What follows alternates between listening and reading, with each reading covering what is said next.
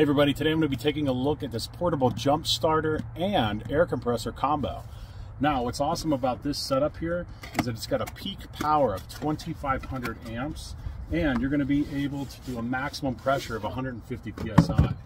Cool thing is you get this nice little case right here. Everything comes in it. You just got throw this in the back of your vehicle and you're basically good to go.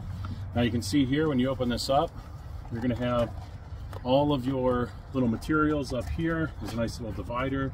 So you can do your air compressor. You've got all of your little alligator clips to do the jumper. Um, you also have some adapters down here too, so you can fill up bikes and things like that. The other cool thing here with this setup is that you get the actual pump itself. Now, what I like about this is it's combo design. You just got to press this button right here. You'll see it turns on. It's going to give you the power. And then you can press the positive or the negative here to get your actual pressure. You can see there we're at 36 and then you can make it 37 or drop it down, that type of thing. Other cool thing here, you got a flashlight built in on the front here. So you just gotta press and hold that button to turn that on. You can see there and you can flip through the different modes. There's that SOS and then there's also just a flashing, which is really nice. You can see here it does have the spot for the air compressor. You've got a USB-C charger. Um, you also have a regular USB, and this is actually how you can uh, charge the unit itself. And then here on this side is where you're going to be able to actually do your jumping.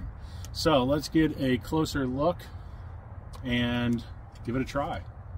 All right, here's a closer look at all the accessories. You have your jumper right here. And the nice thing is, again, you just need to pop this little cover off and then once you plug this in you get this green light here and then you're going to go ahead and adapt plug these adapters onto the battery.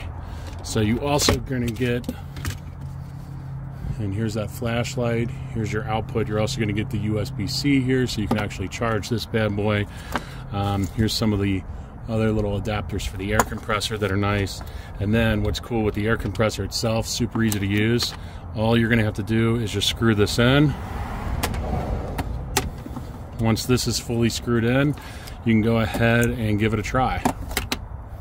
All right, again, getting this set up super easy. All you have to do is open up this little piece, plug this in. You got your flashing green light, and then you're gonna hook your positive up. And then you're also gonna need to hook your negative.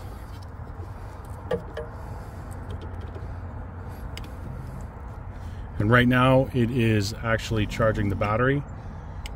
You can hear it clicking. The lights are on now. So I'm gonna go ahead and try to get it to start. So the other bonus feature here, as mentioned before, going ahead and turning this on and getting the air compressor started. Super easy, you can see here, all you have to do is just hit the little M here and you can cycle between all the different types you can see there's a motorcycle, bike, your basketball, and then here's going to be the setup for the car with the PSI of 36.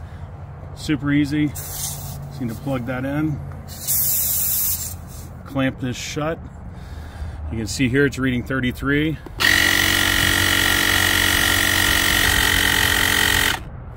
can see there, once it hits that desired pressure, it's done, ready to go. So the cool thing is that you can leave this in your vehicle charging basically all the time, ready to go anytime you have a power outage, uh, things like that. You'll be able to use this to charge your phones, obviously pump up your bike tires, everything like that. I love the multi uh, use of this tool.